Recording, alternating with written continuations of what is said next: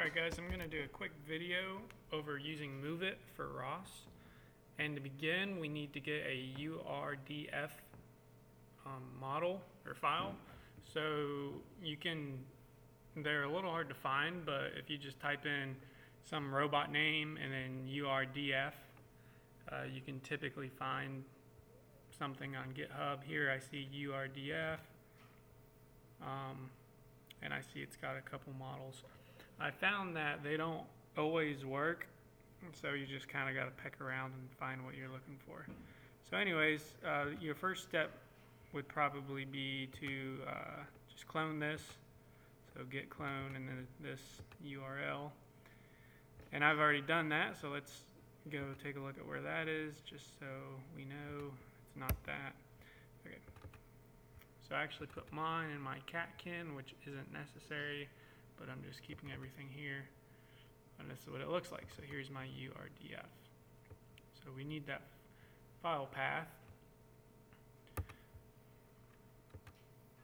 So what we need to do is open up the MoveIt setup. So I'm going to ROS launch, and then it's MoveIt underscore set up assistant set up assistant dot launch. Here it is. Okay, so we're going to create a new MoveIt configuration. I'm going to browse.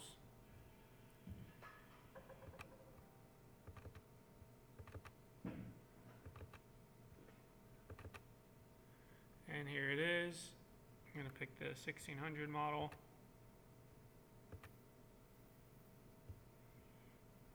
And there we see it. If you don't see anything in this box after you click load, um, that means you have some sort of an issue. So first step is, well, we're just going to go through these tabs from top to bottom. So first one, self-collision. All you got to do is generate a default collision matrix. Um, then we'll set up virtual joints. So this, if you just want the robot arm, you don't need anything here but I actually want this robot arm to be on a mobile robot. Um, obviously, this isn't an ideal arm to do that with, but I'm just picking a random arm that I happen to have on my computer. So, anyways, just doing it out of theory. So, virtual joint and then child link and parent frame. So, child link says which link do I want to be attached? Well, it's going to be the base link, which is this bottom guy. And then what do I want to attach it to? Um, uh, actually, no. Actually, no. What I'm going to do is I'm actually going to attach link 1, which is this link, this one here that rotates in the z direction. Um, and I'm going to attach that to base link. So this is a little confusing, but this base link is actually going to be my uh, mobile robot. So base link is commonly used for that. And when I do this, it'll get rid of this base link that'll, I guess, kind of form into one. So what type of joint do I want? Um, I actually want a fixed joint, so I want the robot base to be fixed to the mobile robot base. Um, there's two other options, floating, which you could use for quadcopters, and then planar, if you want to build the robot entirely and MoveIt. Uh, but that can only handle holonomic robots, uh, which basically is just robots with mecanum wheels, meaning um, it has three deg- you know three degrees of freedom. It can rotate, go forward, and go sideways. Uh, in our case, I'm going to be using a non-holonomic robot, which has two degrees of freedom, forward and rotation. It's a, just a differential. It's actually a skid steer robot, which essentially is a differential steer robot. Anyways, I, I want it to be fixed. Um, planning group. Okay, so this is where, this is for the kinematics. Um, just gonna make an arm pick a solver. Uh, I'm just using this generic one here. then add my joints. So see, notice how I don't have base link anymore, and joint one's my first link here. Well, my first joint. These are the joints that make up my robot, and this is a tool, so I'm not going to include it. Save. Okay, and I'm going to make one more. It's going to be the grouping tool. Okay, I'm doing this because if you don't put it in, then it'll yell at you and it won't let you finish. So even though I don't have a gripper, I've got to say that I have a gripper. And that's just kind of part of the kinematics. It needs a end effector. So to check your work, um, well, obviously you can. This is for adding poses, but this I don't add poses. I just check my work with this.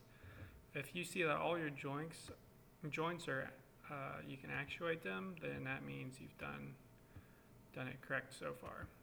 Um, and then on the gripping tool, I don't have one, nothing to actuate, there's no joint there. So that was just to check. So nothing needs to happen there. End effector. So this, again, I don't have per se an end effector, but you have to put something. And then parent link, so basically what does the tooling attach to? In my case, we're gonna say link six. Uh, and it, you can leave parent group blank. Um, unless it throws an error that you need one.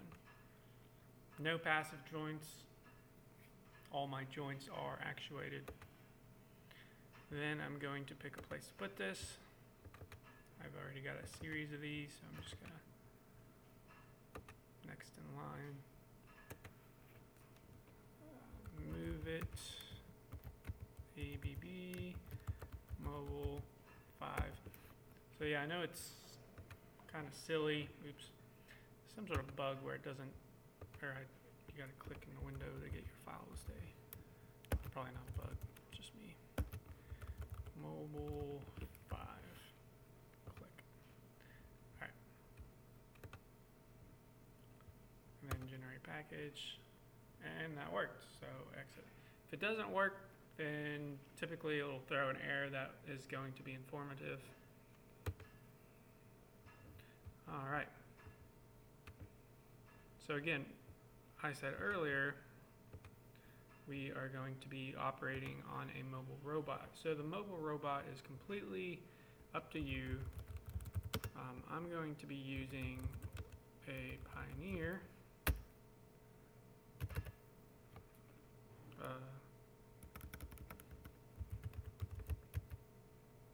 There we go.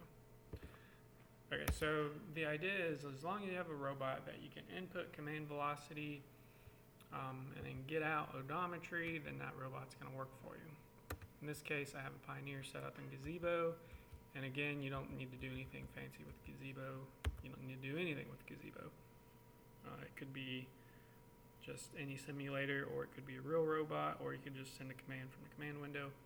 Anyways, I'm just going to let this guy spin so that I, I know that it's going to be printing a changing odometry so that I can tell when my robot arm is moving. So we'll put him away. Open up a new terminal, and then now we're going to start move it.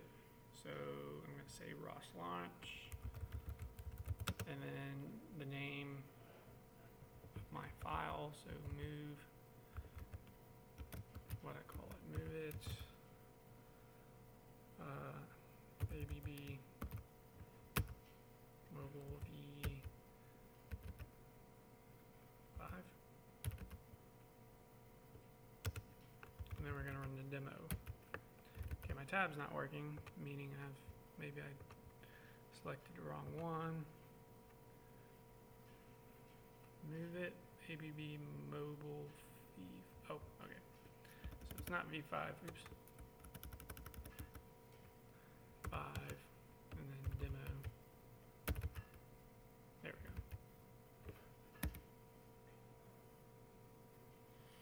go. Okay, so this isn't going to be too beautiful. The reason is, oop, okay, sometimes my RViz crashes. It's not going to be too beautiful because my robot that you just saw in Gazebo, Uh, I'm not, I'm having some trouble getting that to appear in this window. So we're just gonna have a robot kind of floating and riding around in space, but we know that it's actually sitting on the robot, uh, the mobile robot. So there's this bug. Here I go, calling everything bugs, but this one seems like a bug. That is coming in large, the uh, little controller there, so I'm going to tune that down. On zero, but if I put it on 0.2, I'll take care of it. So this is kind of what typically happens when you uh, use Move It. You kind of get this arm, pull it around. So this is just kind of forward kinematics going anywhere, and then inverse kinematics to travel in a particular Cartesian direction or any generalized coordinate. So a couple things to realize. So planning group determines, oh boy, battery's low. Uh, planing group determines what you can uh, manipulate. So if I had a gripper on here, I could select this, and then I'd be able to manipulate my gripper. So I don't, so who cares? Uh, and then planning. So you have different type of motion planner planners. Um, honestly, I'm not familiar with any of these, uh, but I kind of understand the concept. And then I've read that this is kind of the one to go to. So RRT, Connect K, Config Default. And I don't know how accurate that is, but again, that's what I read. So here we can select um, a beginning state and a final state. So final state will be random valid. So my initial state is this solid orange, and then this transparent orange is my final state. If I plan, I had it backwards. But see, it's just planning a path and showing you what that path looks like. You can stop that by pushing reset. So next thing I'm going to show you is how to control this with a joystick, so Xbox controller. Um, the only thing you need to do in the Move It configuration is select this. This is allow external communication. At least I assume that's what that stands for. So now I can have an external import, uh, input, I'm not done. I actually have to launch something. So ROS launch, and then this is automatically created. Move it.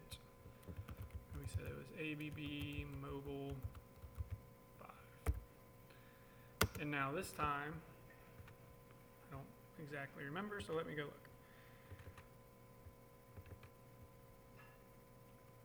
So again, this is just automatically created when you use Move It. You get a joystick control. So I see it right here, joystick control. so joy, should probably do it.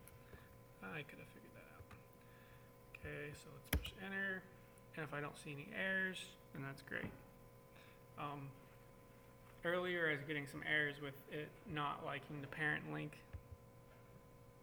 But anyways, seems to be working. So I've got my Xbox controller here. I know you can't see, but I can, this is my uh, left analog stick. And then my bumpers, I can control the Z axis here. And again, this is, so this is inverse kinematics. I'm constraining it. Oh, let me get my chart.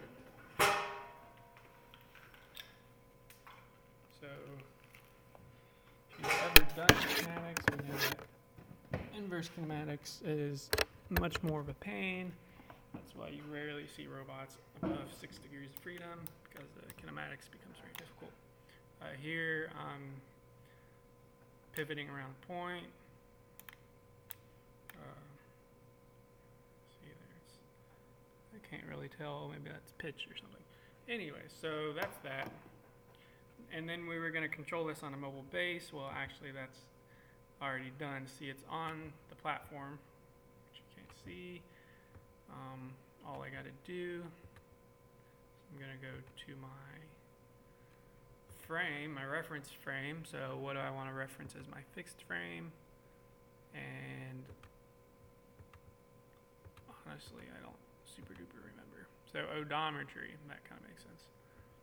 So now my arm is actually traveling around with my robot. That's pretty great. Um, so I stop it, turn it. So that's pretty slick, I think. So let me do that and see if I can control it with the joystick still. And looky there. Um, not real sure why it's being so jumpy, but I guess I can't complain. It is quite a bit to ask. So I think that's all I have. Thanks for watching.